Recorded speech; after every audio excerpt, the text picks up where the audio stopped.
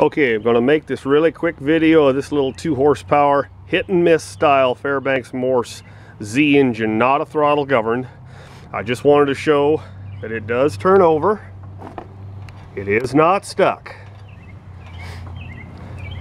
I got it from a young man. Obviously it has spent some time in a fence row. It's gonna need some repair on the base. The base itself is kind of rusted through, but that could be repaired, I would think, pretty easy, actually.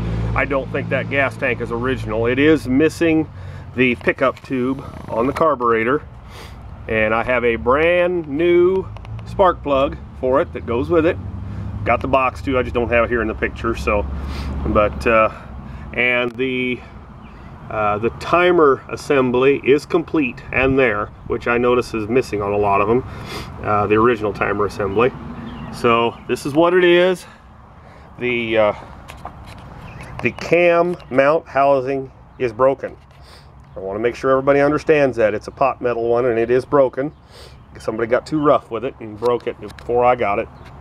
But uh, I don't want to take too long on this so it takes forever to download.